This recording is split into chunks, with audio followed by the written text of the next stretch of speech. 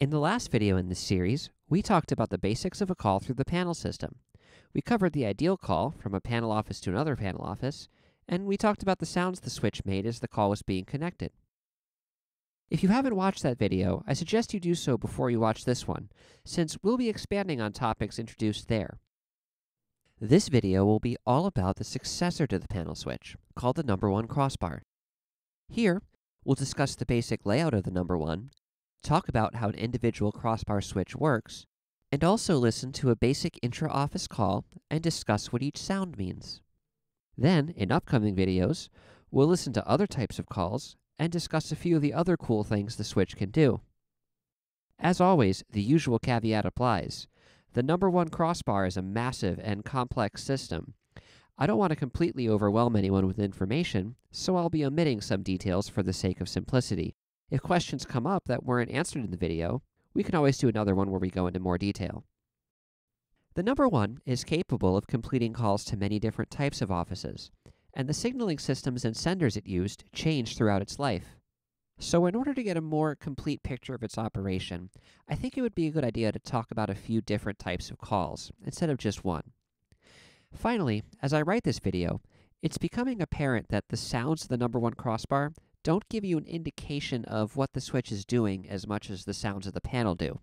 That is, I can't hang my entire narrative on the sounds alone. And if I did, you'd get an incomplete understanding of the nature of the switching system. So I think we'll start with a little bit about what the number one crossbar is and the important aspects of it that you really don't hear on the call. Then, when we go in and listen to some calls, we can tie it all together. At first glance, the number one looks very different from the panel, and in many ways it is. You won't see any rotating shafts, gears, or clutches here.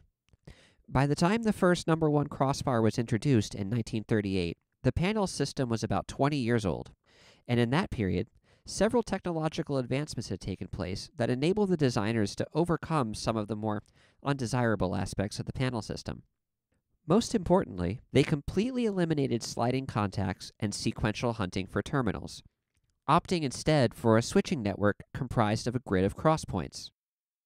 These crosspoints could be examined and marked for closure on demand, which not only greatly sped up network access times, but allowed for the central control to have a bird's eye view of the state of the switching network at any point in time.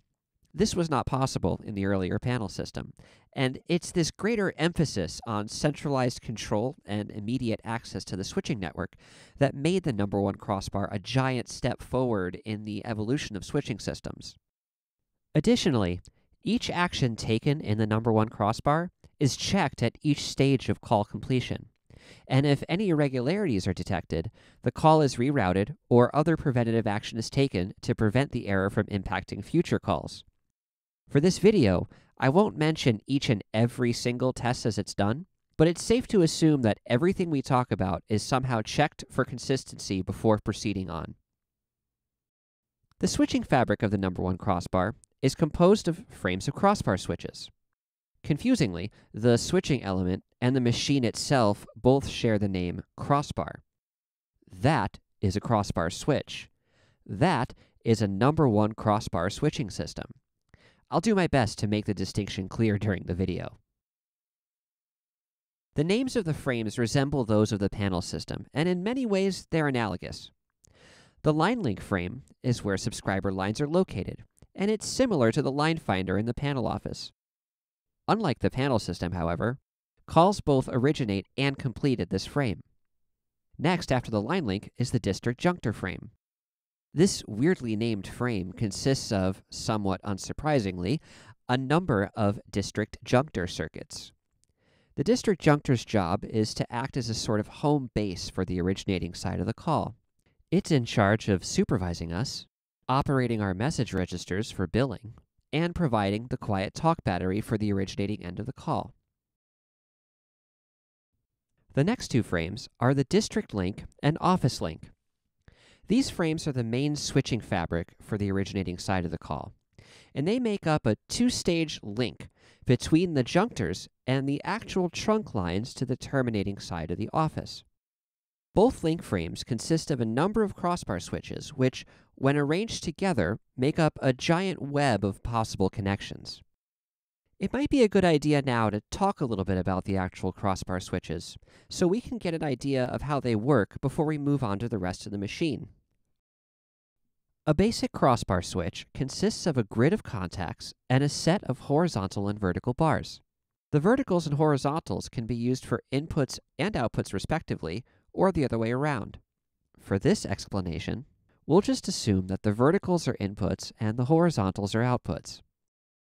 Any horizontal plus any vertical can be operated to connect an output to an input. In addition, any crosspoint can be examined at any time to determine its current state. A crossbar switch is not limited to one connection. Any number of crosspoints can be connected simultaneously without interfering with the other connections. The limit of connections is only based on how many inputs and outputs you choose to have and how the backside of the switch is wired up. Unlike panel selectors, crossbar switches on their own have no intelligence or memory, other than their intrinsic ability to be open or closed. Gone are the sequence switches with 18 possible state positions. Gone are the brushes, trip fingers, rods, and commutators. Now, all we need to deal with is a matrix of points, which can only be in one of two states, open or closed. Because we've now reduced our individual switching elements to the minimum required logical complexity, we need some way to control them, since they can't do much on their own. This is where markers come in. In a number one crossbar switching system, the markers, yes, there's more than one, query and control the switching fabric to set up the call in the most efficient manner possible, given the system's status at the time of the call. This is important, so we'll come back to this and talk more about markers later. It's also pretty neat to see how the actual crossbar switches do the job of connecting horizontals to verticals. Here's a 10 by 10 crossbar switch. We can see that there's 10 vertical bars and 5 horizontal bars. Each horizontal can be used to handle two adjacent levels. So that bottom bar goes down for level 0 and up for level 1. The next bar down for level 2 and up for 3, and so on. Each horizontal bar has 10 fingers poking out of it, one for each intersecting vertical. These fingers move up and down with the horizontal. If we want a cross point to close, we must first choose the horizontal that handles the level we want, and then close a circuit to its magnet to drive it upwards or downwards. Let's go with this horizontal bar, and let's move it up to close a cross point at level 7. As the horizontal bar moves up, the fingers move up too. The fingers on this bar are now able to be wedged into this space between the vertical bar and the operate card. We now operate our desired vertical bar, which will close the bar onto the finger, jamming it into the operate card for those cross points. This will cause the cross points to close. Once we've closed the points, the system can release the horizontal bar to make it available to other verticals. Our cross points will stay closed as long as the vertical, or hold magnet, is engaged. For the other non-selected horizontal levels, their fingers didn't move, and when our vertical bar closed, their fingers just weren't in a position to be forced against the operate cards. For them, the vertical bar will have no effect at all. Now, that was all slow motion, but in reality, this happens very fast. The crossbar switching system uses this same action done over and over again to complete calls through its switching network. And that's the great benefit of the crossbar type switch. It's a simple, yet versatile way to make connections between any two points on a grid with a comparatively small physical movement and rapid operate time.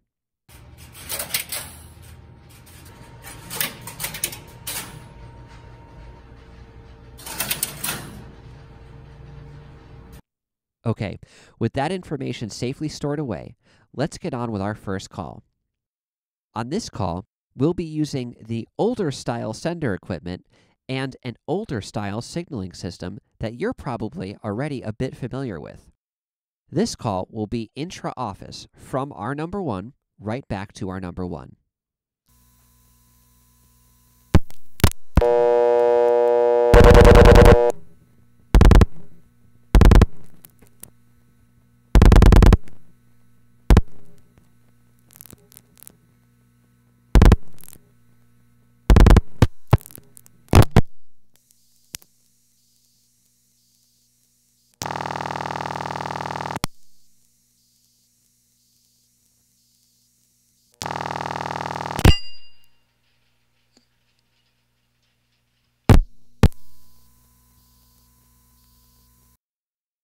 That probably happened a bit too fast to catch everything that was going on. Don't worry, we'll slow it down and explain everything soon. Now let's listen to the same call, but with the switch room audio instead.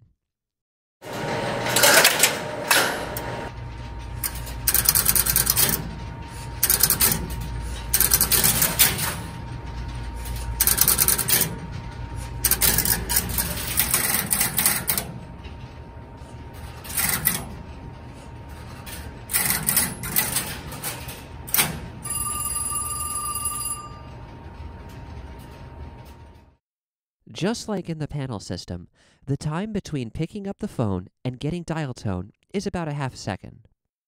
In that brief period after we pick up our phone, a whole bunch of things have happened in the switch that we don't hear. The L relay in the line link operates, which causes the frame to recognize a request for service. The line link circuit identifies our vertical and horizontal position on the frame and marks it for closure. It then calls in another frame called the sender link, which will assist it in locating an idle district junctor and an idle originating sender. Once these have been located and marked, all of the cross points are closed, which creates a connection from our line through the first portion of the switching system to the sender, which gives us dial tone.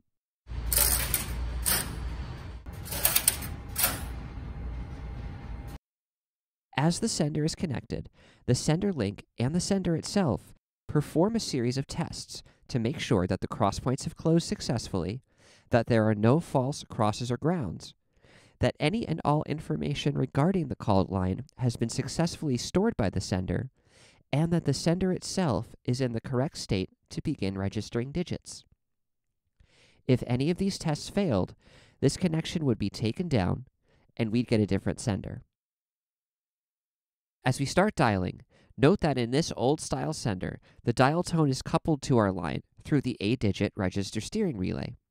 So we continue to hear dial tone while the A-digit is being transmitted, just like we heard in the panel video.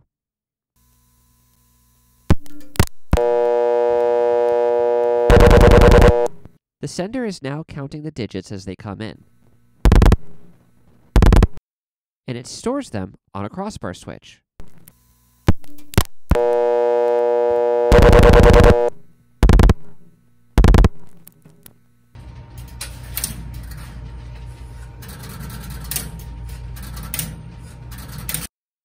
In this case, we're using the crossbar switch as a sort of memory.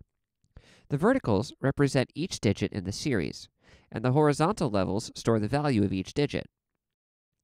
Just like in the panel switch, once we finish dialing the third digit, the machine must make its first decision about how to route this call. That decision is made by the originating marker.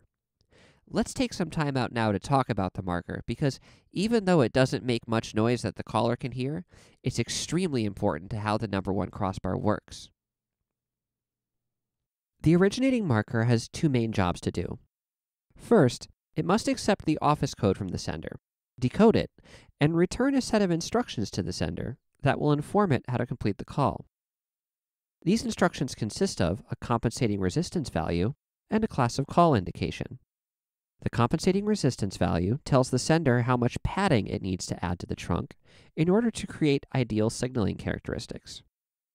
The class of call indication tells the sender what kind of terminating office it will be speaking to, and how it should communicate with that office. The translation information is encoded in the marker in this cross-connect field. When the marker receives the office code from the sender, it grounds a punching in this field, which operates a corresponding route relay. This route relay is the one that we want to operate for the 833 code, and it happens to be route relay number 41. When the relay operates, its contacts close, and they ground corresponding punchings in each of these fields, one punching per contact. These punchings are in turn connected by jumper wires to these punchings here, which connect the route relay grounds to operate translation relays in the marker. It is these variable cross connections that actually store the information. If I wanted to change the translation for a specific code, I can merely remove the desired wire, then reconnect it somewhere else, and a different combination of translation relays will be operated in the marker. Having operated the translation relays, the marker then checks the translation to make sure it's error-free, and then transmits it to the sender. The sender receives this information from the marker over a set of leads and stores it in its own corresponding set of relays.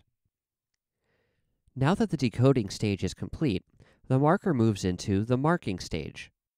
It will now identify the location of the trunks to our called office on the office link frame. Once it has located the trunks, it inspects each of them and determines which ones are available to us. Then, it chooses one and marks that trunk for use. Now that we have the trunk that we want, we just need to establish a connection to it. In order to do that, the marker looks back at our district junctor and examines all possible paths between it and the trunk on the office frame that it chose just a moment ago. Once it finds the best path, it closes all of the crosspoints through the district frame and the office frame, establishing a path to our called office.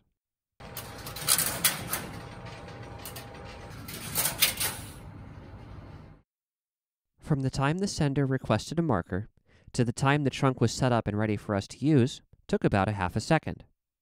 Like many things in this switch, all of the actions we described occurred nearly simultaneously, separated only by some milliseconds.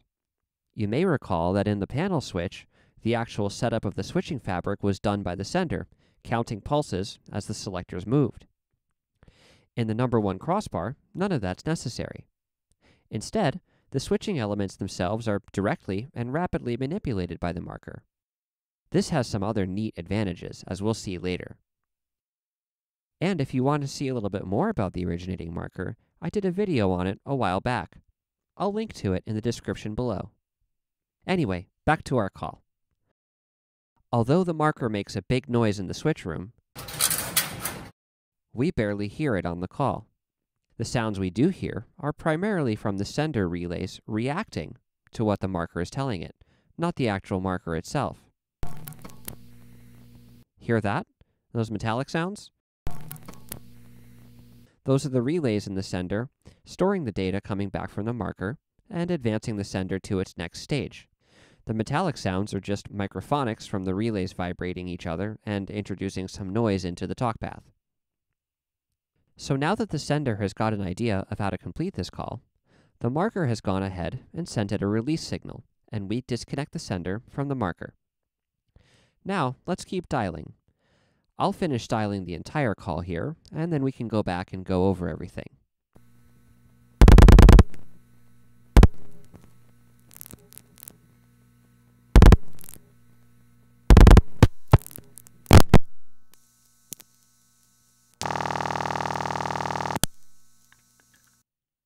Once we completed dialing the hundreds digit, the originating sender closed its circuit to the terminating half of the machine. As soon as the trunk circuit was closed, the incoming trunk at the far end recognized the circuit closure and called up its terminating sender link. The terminating sender link found us an idle terminating sender. As soon as the terminating sender connected to us, it started pulsing at us, just like the commutator of a panel selector would.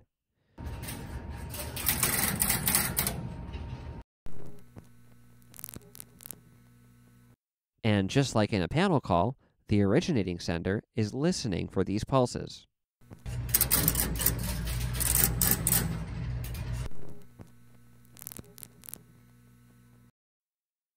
You may remember that in the panel switch, revertive pulsing happened as soon as the thousands digit was dialed. But on this crossbar call, we waited for the hundreds digit.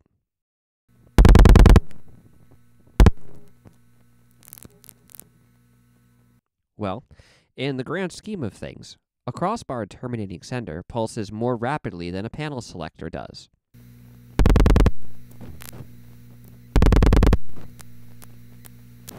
So, in the interest of keeping holding time as short as possible, we can just wait until the hundreds digits dialed before we even try to grab that terminating sender.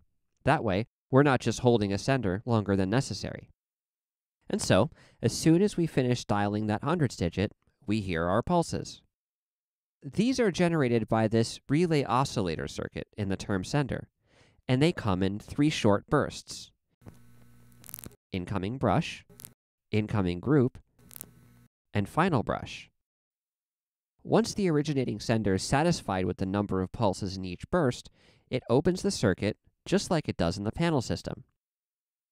Each time the circuit is open, the term sender detects this and stores the number of pulses it sent on its crossbar switch memory.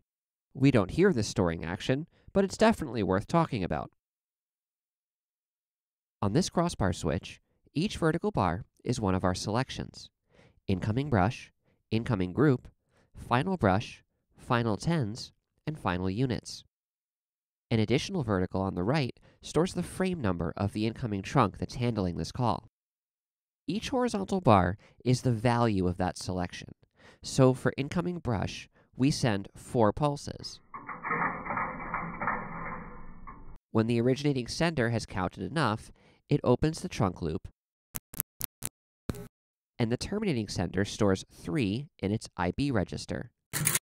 Remember that when counting revertive pulses, we always start from 0. So 4 pulses is 0, 1, 2, 3. Back to the originating sender, which closes the circuit again for incoming group. Here come the pulses from the terminating side, and when we've counted 1, we open the loop, causing the terminating sender to store a 0 in the IG register. We do the exact same thing for final tens, and when the loop is opened again, we store a 1 in our FB register.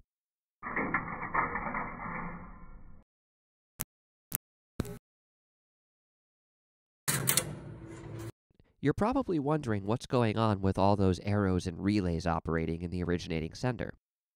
When counting revertive pulses, the originating sender always starts from the number of pulses it wants to count, then decrements down to zero. For this video and the last one, I've said that we're counting up from zero, just to make it easier to understand the signaling system. But electrically, inside the sender, it counts down. Therefore, if it wants to count to three, the first relay that operates is the 3 relay, and the last that operates is 0. Also, there are two counting relays for each pulse, since the sender counts the rising edge and the falling edge of each pulse. The bottom one is operated on the rising edge, and the top is operated on the falling edge of the pulse. And lastly, the zero pulse actually operates three relays, one on the rising edge and two on the falling edge. There's a lot more fascinating stuff to talk about regarding the details of this signaling system, but that really should wait for its own video. At this point, we can't do anything else until more digits are dialed, so let's go ahead and dial that tens digit. As we do, the originating sender registers it, closes the trunk loop again, and tells the terminating sender to start pulsing. We count to 2 and open the loop. The terminating sender stores a 2 in its tens register. Finally, we dial that units digit. But before revertive pulsing starts, we hear this. That sound is a peculiarity of the way the originating sender works, and if I didn't spend weeks troubleshooting this exact thing, there's no way I would have guessed what makes it. This sound is made by the sender removing our tip and ring from the dialing circuit in order to verify the results of a party test that was made before we got dial tone. This is required for the sanctity of billing. If we're calling from a party line, where two different subscribers share the same physical loop from the central office, then the sender needs to know which subscriber has placed the call so it can bill them appropriately. Because billing the wrong person would be really inconvenient for us, the sender makes this test twice. Once before dial tone, which we don't hear, and once right now, which is where these two clicks come from. And immediately after those loud clicks, we hear the RP for the units digit coming back from the term sender. Now, if the initial party test and the second test produce different results, the sender will stick itself right where it is and not ever allow the units RP to come in from the terminating side. It'll stay like that and not release until someone comes over and manually releases it by pulling a relay down.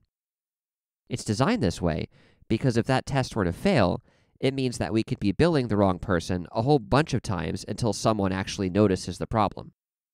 So we want to be extra sure that everything's okay before proceeding.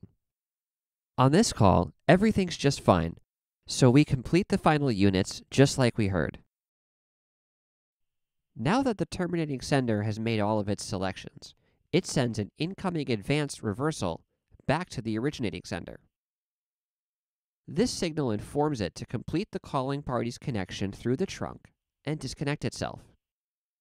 At this point in the call, the terminating side is entirely responsible for the remainder of completion, so the originating sender can drop off completely, leaving the subscriber hanging onto the trunk and waiting for that terminating end to finalize the connection. At the same time, the term sender is bidding for a terminating marker, and when it gets access to one, the sender transmits the four digits of the called subscriber's line number to it. Upon receiving this information, the terminating marker must now locate the called line and test it to determine whether or not it's busy on another call. Since there can be at least 10,000 lines in one office, it would be impractical to wire each and every one of them individually to all of the terminating markers in the office. So to access the called line, the marker enlists the help of some friends, called the number group connector and the block relay frame. Now, the action of these frames can get rather complex, so let's just stick to the basics here. After calling in the block relay frame, the marker uses it to locate the called line and then tests it for busy. For this example, the called line is idle, so the marker will release the block relay frame and proceed to set up the connection from the incoming trunk through the incoming link to the called line. Once this connection has been established, the marker releases the sender and then releases itself.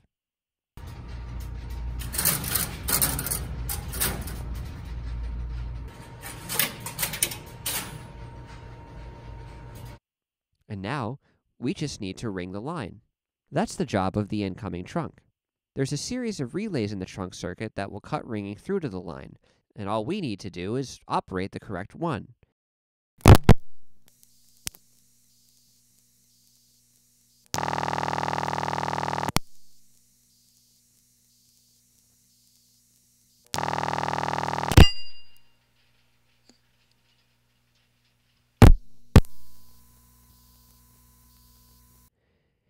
Hear how the quality of the sound changed when the RC relay operates? That's because at this point, we're connected to the tone plant that's producing the ring signal. And for whatever reason, the tone plant over here is kind of noisy. So while the line is being rung, we get all that hiss. It's no big deal though, because if you were on a phone surrounded by ambient noise, you'd have to strain to hear it anyway. Sounds quite noticeable now though, doesn't it? Now that we've connected this call, I think we should mention something about the Crossbar brand of revertive pulse. What we're hearing here is a very early example of a protocol, where the method of communication is abstracted and really has nothing to do with the inherent limitations of the machine itself. You know, the whole point of revertive pulse, as used in the panel, is to tell the sender where the brush is as it hunts over the terminal bank. Well, here in the number one, there's no brushes, no rods, and no commutators to move up and down. So why do we go through all the trouble of revertive pulse for a machine that doesn't even technically need it? Well, it's for backwards compatibility. You see, the number one was installed right alongside existing panel switches, often even in the same building. So rather than design an entirely new signaling system and redesign and upgrade all the panel switches in the entire country at the cost of perhaps billions of dollars, the engineers at Bell Labs just said, hey, why don't we just make the number one speak the same language as the panel? And yeah, it worked fine. Now, the crossbar can complete calls to the panel, and the panel can complete calls to the crossbar, and everybody's happy. Okay, let's go through that one more time just as a quick review.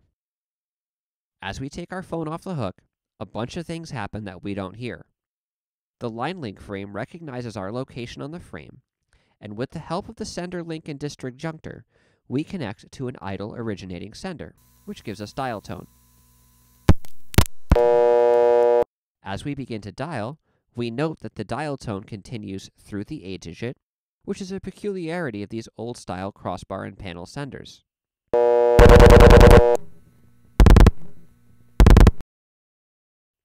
After three digits are dialed, the sender bids for an originating marker, which decodes the office code 833 and returns information back to the sender regarding how to complete this call.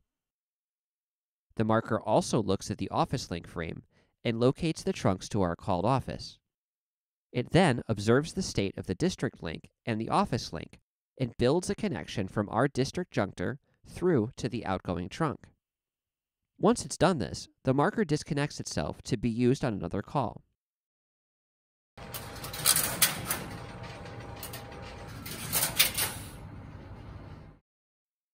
Now, we're back to the sender. As we continue dialing, nothing much happens until we get to the hundreds digit. At that point, our sender closes the connection over the trunk to the terminating office. This wakes up the incoming trunk in the terminating end, and it immediately bids for access to a terminating sender. As soon as the terminating sender is connected to the line, it begins pulsing at us. Lucky for us, we were ready for it, and as soon as the pulses start to come in, our originating sender starts counting them. Here, the terminating sender is pretending to be a panel selector, and as it pulses, we're counting off incoming brush, incoming group, and final brush. Each time we're satisfied, our originating sender opens the trunk loop, which tells the terminating sender to go ahead and store the number of pulses that it sent us in its crossbar register. We dial our tens digit, it pulses again for final tens. We open the loop, it registers, and now it's time to dial that units digit. Immediately after dialing the units digit, our originating sender does something important. It needs to make one last check to make sure of what party we are, in case we're on party line service. Recall that it did this when we first started our call, but we just didn't hear it. It disconnects us from the dialing loop, does its test, and then reconnects us. As soon as it's satisfied, it closes the trunk again to the terminating sender, which has been waiting for us so it can send its revertive pulses for the units digit. As soon as that's done, the terminating sender transmits a polarity reversal back to us, which we interpret as incoming advance. That instructs the originating sender to drop off a call and cut our district junctor through to the talking position. Now, we're hanging out on the trunk and waiting for the terminating end to complete its work, which is actually happening simultaneously with all of this. On the far end of the call, the terminating sender transmits the last four digits of the called number to the terminating marker. The marker then calls up its friends, the number group connector and block relay frame, and gains access to test the called line. Now, it tests that line for busy and if it's available, the terminating marker proceeds to set up our connection from the incoming trunk through the incoming link and out to the line link where that called line is located. Once it's done that, the marker disconnects and makes itself available to serve another call.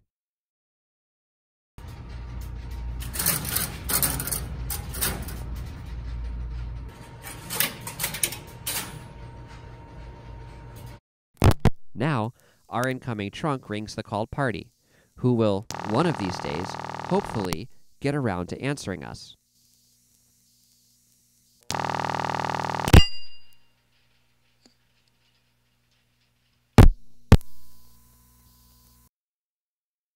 Well, that's it. That's your standard crossbar to crossbar call. But it's only the tip of the iceberg if we're talking about all the things the number one crossbar can do. So in the next video, we'll talk about MF intra-office calls and alternate routing, which I think is just super cool. I hope you enjoyed this video. If you have any questions, please ask in the comments and I'll do my very best to answer. See you next time.